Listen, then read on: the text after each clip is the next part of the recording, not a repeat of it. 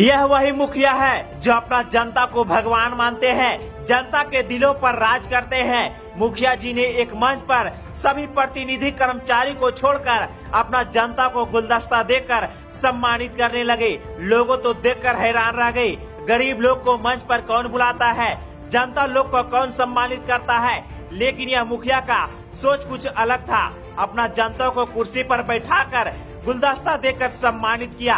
पूरा मामला जानने से पहले इस वीडियो को ज़्यादा से ज़्यादा शेयर करें। यह वही मुखिया है जिसका पूरे बिहार राज्य में खूब चर्चा होते रहता है। यह मुखिया जी ने 60 साल का रिकॉर्ड 25 साल के उम्र में तोड़ डाला। यह वही मुखिया है जो अपना स्कॉर्पियो गाड़ी को एंबुलेंस बना डाला। जब भी कोई पंचायत में जनता को इमरजेंसी पड़ता है तो अपना स्कॉर्पियो गाड़ी को एंबुलेंस बना देते हैं। चौबीसों घंटा जनता के ऊपर तत्परता दिखाते हुए सेवा देते हैं। दो अक्टूबर को पूरे देशवासी गांधी जयंती मनाने में व्यस्त थे, लेकिन उसी दिन मुखिया जी ने लोगों को हर दर्द को सुन रहे थे। ग्राम सभा का आयोजन किए। उस ग्राम सभा आयोजन में पंचायत में हो रही कमी के बारे में जनता से सुनने का काम किया। यह मुखिया जी का नाम मनीष कुमार यादव है। बहुत कम उम्र में युवा मुखिया बने। बिहार के गया जिला के फतेहपुर थाना क्षेत्र के डुमरी चट्टी पंचायत का मुखिया बने हैं। दो अक्टूबर को ग्राम सभा आयोजन अपना पंचायत में किया।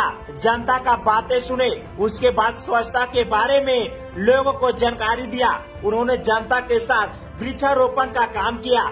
जिस उम्र में लोग पढ़ाई करते हैं, जिस उम्र में लोग जॉब के क्षेत्र में जाते हैं, उस उम्र में मनीष कुमार मुखिया बन गए और जनता को खूब सेवा दे रहे हैं। जब इनसे पूछा गया कि आप अपना पंचायत के लिए क्या काम किए हैं? उन्होंने तुरंत जवाब दिया। बताया कि अपने जनता के लिए मनरेगा और भी योजना से 9 करोड़ लागत से काम किए हैं। नली बनवाने के काम किए, गली बनवाने के काम किए, हर घर पर बेटी बहू को फोर व्हीलर पर उतारने का काम किए। बताया जाता है कि यह मुखिया का पूरे बिहार राज्य में खूब चर्चा होते रहता है, क्योंकि बहुत कम उम्र का युवा मुखिया है। यह मुखिया का नाम मनीष कुमार यादव जी है। इस वीडियो को ज़्यादा से ज़्यादा शेयर करें ताकि जितने भी मुखिया है, सभी अपना जनता के लिए सेवा दे।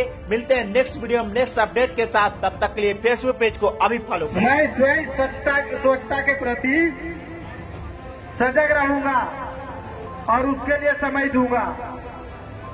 हर वर्ष यानी दो घंटे, यानी हर सप्ताह दो घंटे श्रमदान करके स्वच्छता के इस संपर्क के चरितार्थ करूँगा। मैं न गंदगी करूँगा, न किसी और को करने दूँगा।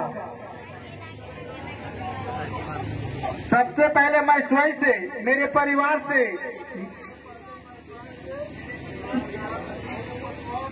मेरे मोहल्ले से, मेरे गाँव से, एवं मेरे कार्यस्थल से शुरुआत करूँगा।